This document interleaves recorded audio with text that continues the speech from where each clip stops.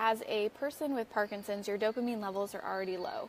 So, in order to boost them up, we need you to be anticipating a reward, which means that goal setting is really important for you. So, it's not actually the dopamine levels don't rise um, more significantly when you actually receive a reward or achieve a goal. It's the anticipation of achieving that goal where the dopamine levels rise.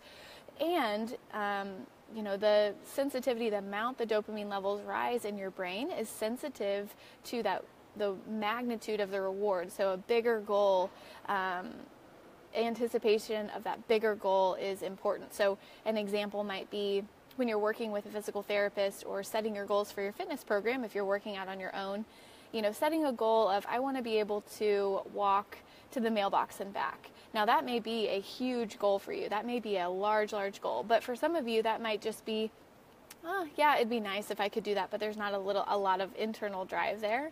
Um, as far as something really exciting that gets you um, really anticipating achieving that. So, in um, and to kind of mirror that and take it to the next level is like if you're setting a goal with your physical therapist, um, maybe your goal is to be able to walk your daughter down the aisle. Um, you know, in six months, you are using a walker now, but you want to be able to hold arms with her and walk um, confidently down an entire uh, aisle in front of a bunch of other people. That's a big goal and it's also meaningful to you.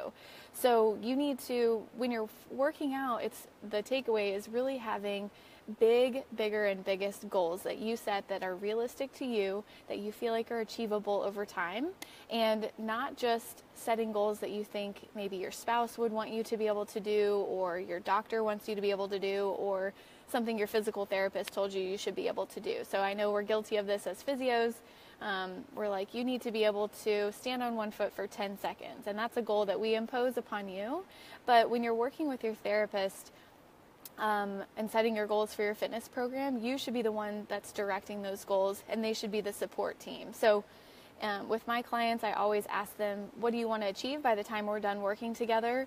Um, in my, my online booster program, the exercise program that I have through Invigorate, we go through an entire process of goal setting and we talk about what you want to achieve and why you want to achieve it, why it's meaningful to you. So your brain can be prepared to do the work to get you to that goal. You're anticipating that reward, and that's when the dopamine levels really kick in.